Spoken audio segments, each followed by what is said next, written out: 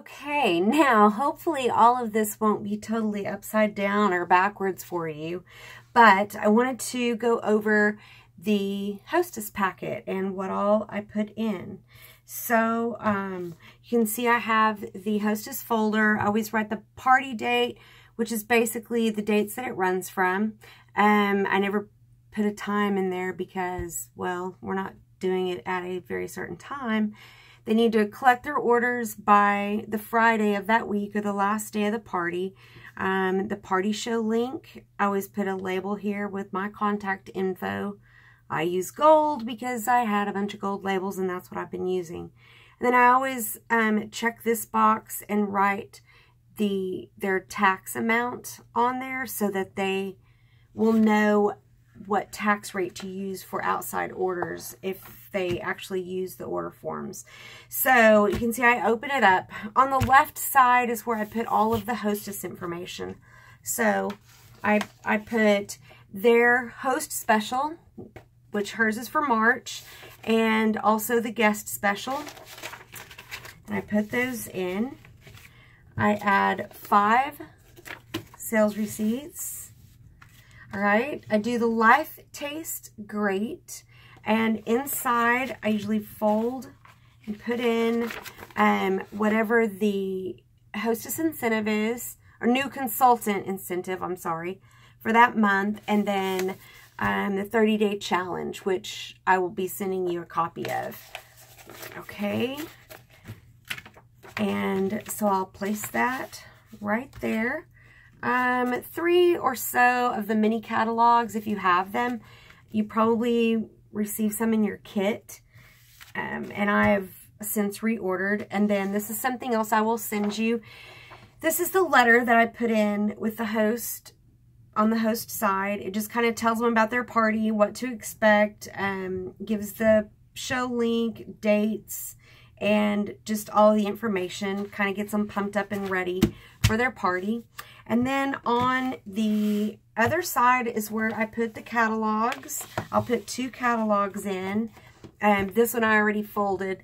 But what I did for these is I always put the guest special on top so they know if they order $75 or more, they get to choose their free gift. And then for these, this particular hostess, her party is at the end of March. So I'm going ahead and putting the April host special in so that any guests that look over the catalogs will know what the April host special is if they might be interested in booking. Never, ever, ever feel bad about asking for bookings. And actually, you can pretty much get your hostesses to do it. And I'll, in another video, I'll tell you about that.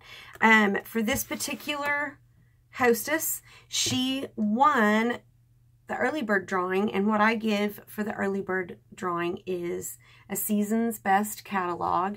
Um, this particular one, I went ahead and wrote her a note in there because her party was far enough away. I didn't want her to forget that she was getting a gift and she'll know this was her gift. But I always put one of my labels inside so they always remember me and where it came from. And so that is the hostess packet. Now, um, one of the other resources that I'll be giving you in another video is where to get cute little bags like this. Oh, and I staple my business card on there. Business cards, I got mine from Pampered Chef. Um, I'll tell you where that is. Some people get them through Vistaprint. I mean, you know, it doesn't really matter where you get them, just as long as you have your information on there. These bags are just super cute. Um, I just think it adds a special touch to the Hostess packet. Um, and now, so to mail this out, I use Priority Mail, not Priority Express, but just Priority Mail. I found it to be the least expensive way to ship the packets um, because whatever you can cram in this envelope, it doesn't matter how much it weighs.